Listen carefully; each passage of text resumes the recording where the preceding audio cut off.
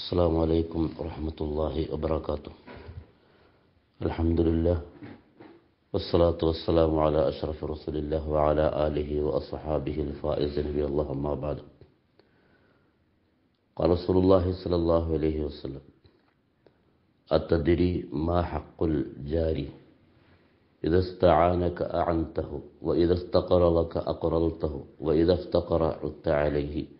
وإذا مرض عدته وإذا أصابه خير هنأته وإذا أصابته مصيبته مصيبة عزيته. وإذا مات اتبعت جنازته. ولا تستطل عليه بالبنيان فتحجب عنه الريح إلا بإذنه. ولا تؤذه بقتال ريح قد قدرك إلا أن تغرف له منها. وإن اشتريت فاكهة فهد له فإن لم تفعل فأدخلها سرا. വലാ യഹ്റുജ് ബിഹ വലതുക്ക ലിയഹീദ ബിഹ വലദഹു അയൽവാസികളുടെ അയൽവാസികളോടുള്ള കടപ്പാടുകൾ വിശദീകരിച്ചുകൊണ്ട് മുത്തലബി അലൈഹി അലുസ്ലമാ തങ്ങൾ ദീർഘമായി പറഞ്ഞ ഒരു ഹദീസിന്റെ അല്പഭാഗമാണ്. റസൂൽ അലൈഹി അലുസ്ലം ചോദിച്ചു അത്തതിരി മാ ഹക്കുൽ ജാർ? എന്താണ് അയൽവാസികളോടുള്ള കടമ കടപ്പാട് നിങ്ങൾക്കറിയുമോ? ഇതസ്ത ആനക്ക അന്തഹു അവനോട് ചെയ്യേണ്ട കടമ നിന്നോട് അവൻ സഹായം തേടിയാൽ അവനെ നീ സഹായിക്കുക. നിന്നോട് കടം ചോദിച്ചാൽ കടം കൊടുക്കുക. വൈദസ്തക്കറ ഉത്ത അലീഹി അവൻ ദരിദ്രനായാൽ അവന് വേണ്ട സഹായങ്ങൾ നൽകുക. വൈദ മരുത്ത ഉത്തഹു അവനെങ്ങാനും രോഗിയായാൽ അവനെ സന്ദർശിക്കുക. വൈദ അസാബഹു ഖൈറുൻ ഹന്നഅത്തഹു നിന്റെ അയൽവാസിക്ക് സന്തോഷകരമായ എന്തെങ്കിലും നേട്ടം വന്നാൽ അവനെ ആശംസിക്കുക. അവന്റെ സന്തോഷത്തിൽ പങ്കുകൊള്ളുക.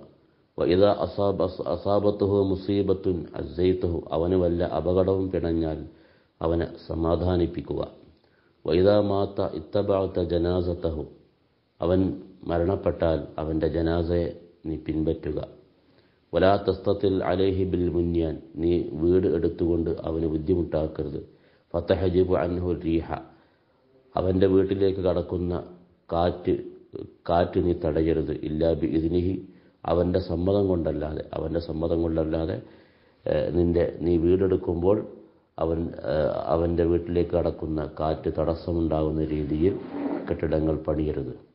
വലാ തുതിഹി ബി കുത്താരി റീഹി കിജരിക്ക നിന്റെ വീട്ടിലെ പാത്രത്തിന്റെ ചട്ടിയുടെ വാസന ആ അതുകൊണ്ട് അവരെ ബുദ്ധിമുട്ടിക്കരുത്. ഇല്ല അൻ തവരി ഫലഹോ മിൻഹ.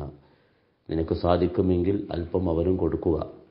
വൈലിസ്തറൈത്ത ഫാക്കിഹത്തൻ ഫഹദിലഹു. നീ വല്ല പഴവും വാങ്ങിയാൽ അവന് അവന് ഹദിയ ചെയ്യുക. ഫൈല്ലം തഫാൽ അതിന് സാധ്യമല്ലെങ്കിൽ ഫാദിഖിൽ ഹാസിറൻ. അത് രഹസ്യമായി നീ കടത്തുക. വലായഹ്റുജി ബിഹ വലതുക ലിയറീല ബിഹ വലദഹു.